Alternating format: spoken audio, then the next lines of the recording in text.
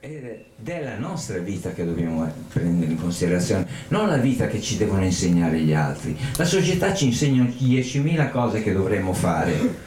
poi non riusciamo a farne neanche una, lasciamo stare la politica. E, ma quella che ci insegna la società sono degli indirizzi che devono sollecitare la nostra attenzione. Dice, io parlo della società come parlo del, dicendo religioni, eh, politica, eh, associazioni eh, e l'educazione ambientale di,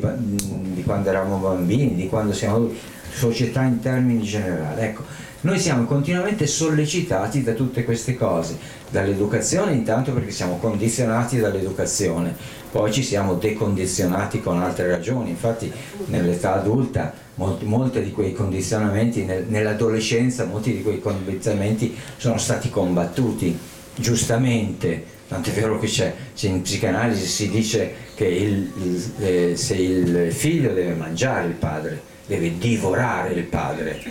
cioè c'è il momento in cui c'è la ribellione del figlio, perché se non si ribella ai genitori e certi condi- non matura, non ci, sarà sempre condizionato dalla figura paterna o materna, quindi i condizionamenti sono superati e lo stesso i condizionamenti della società